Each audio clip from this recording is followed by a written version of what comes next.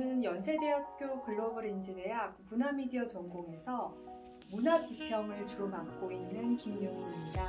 제 수업은 이제 문화, 역사, 영화 그리고 애니메이션 중심으로 맡고 있습니다. 네, 일단 어, 수상하게 돼서 굉장히 반갑습니다. 그 제 수업에서 발표가 상당히 많이 있는데 용기 있게 이제 발표해주고 자기 의견 말해준 그런 학생들 덕분이라고 생각합니다. 제 수업에서는 이제 숙제도 있고 이제 토론도 있고 강의 이렇게 세 부분으로 나눠져 있는데 아무래도 이제 참여 점수가 높다 보니까 토론을 좋아하는 학생, 자기 의견을 다른 사람하고 공유하기를 좋아하는 학생 그런 학생들에게 굉장히 잘 어울리고요. 그리고 지식 전달에 있어서 그냥 이제 받아들이는 지식을 그냥 지식 이것으로 끝내는 것이 아니라 어째서 그럴까? 어, 내가 알고 있는 진실은 정말로 변할 수 없는 절대 명제인가? 이런 것들에 대해서 한 번쯤 의문을 품었다면 제 수업에서 잘 적응할 수 있을 거네요. 공부 팁은 어, 그러니까 성적을 잘 받는 팁을 아마 이제 얘기하는 것이겠죠. 어, 이제 공부하는 방법도 있고 그리고 이제 점수를 좀 잘 받는 팁도 있겠는데 이제 참여와 토론들 높으니까 사실 이제 문화 미디어 수업에서의 특징이라고 하면 정답이 없는 것이거든요. 그래서 이런 정답이 없는 것의 장점은 여러분들의 의견을 다양한 방식으로 개진할 수 있다는 점입니다.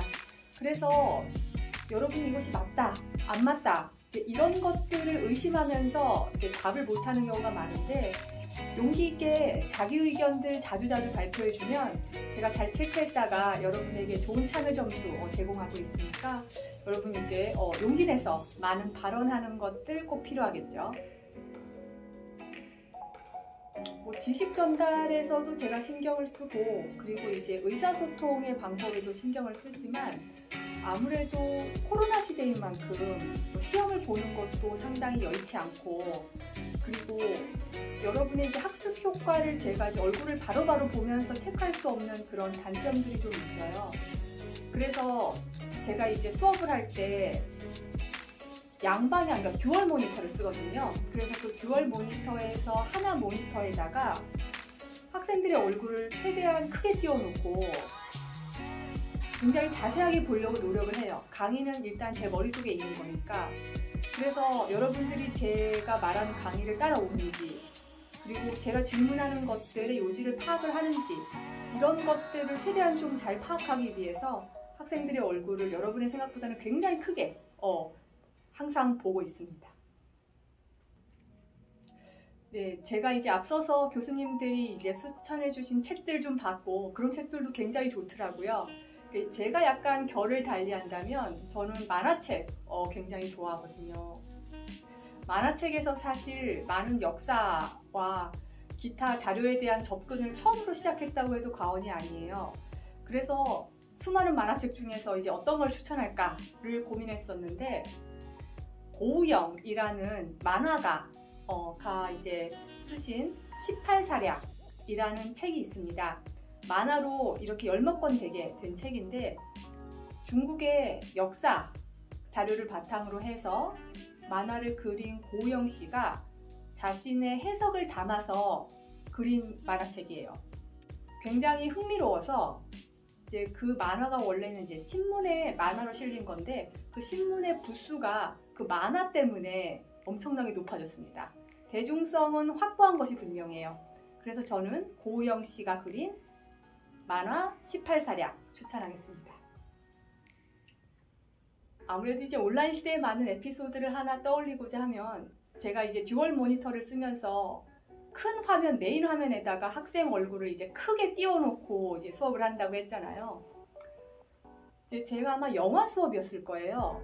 그래서 학생들의 얼굴을 이제 각자 잘 보이게 크게 띄워놓으면서 이제 학생들 봐가면서 수업을 하고 있는데 그 학생이 아마 깜깜한 방에서 조명 없이 노트북만 켜고 수업을 했나 봐요. 그래서 이제 형체가 보이지 않는 상태에서 노트북에 불빛만 턱 밑에 있으니까 그 이제 귀신놀이 할 때 이렇게 하는 것처럼 있잖아요. 이렇게 조명이 밑에서 이렇게 파랗게 올라오는 이제 그렇게 이제 보이더라고요. 게다가 이제 수업 화면이 눈동자에 비쳐서 반짝반짝하고요. 막 그 눈동자가 이게 엄청 무섭더라고요. 그걸 이렇게 보고 있으니까 그래서 수업 시간 내내 그 학생하고 눈을 마주칠 수가 없었어요. 사실상 이제 수업에서 선생이 학생한테 겁먹기는 굉장히 쉽지 않은데 예, 그 수업 시간 내내 뭐 제가 이제까지 봤던 뭐 엑소시스트, 뭐 오멘 이런 것들은 어, 저리 가라더라고요. 그래서 생각으로 굉장히 무섭습니다. 예, 여러분들 조명 예, 그 의도가 아니라면은 어, 되게 신경 쓸 필요가 좀 있다고 생각해요. 제가 수업 시간에 많이 여러분에게 요구하는 것이 여러분의 취향 혹은 여러분이 좋아하는 어떤 장르의 것을 찾으라고 제가 많이 요구하는데 그렇게 되면 이제 하나의 분야에 공포 영화를 좋아한다. 그럼 이제 공포 영화에 집중적으로 들어가게 되죠.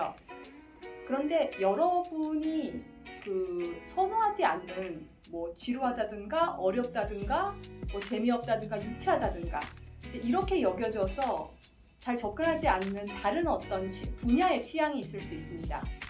그런데 그런 분야의 취향도 이제 견디기 어렵고 괴롭더라도 조금이나마 조금씩 조금씩 또 보는 연습을 좀 했으면 좋겠어요. 여러분이 다른 세계를 접함으로써 세상을 볼 수 있는 창문을 하나 새롭게 열 수 있습니다. 그리고 그런 창문들을 최대한 많이 열어놓는 것이 여러분이 이제 나이가 들어서 세상을 좀 더 이제 다양한 각도에서 왜냐하면 또 다른 창문은 다른 사람과 마찬가지거든요.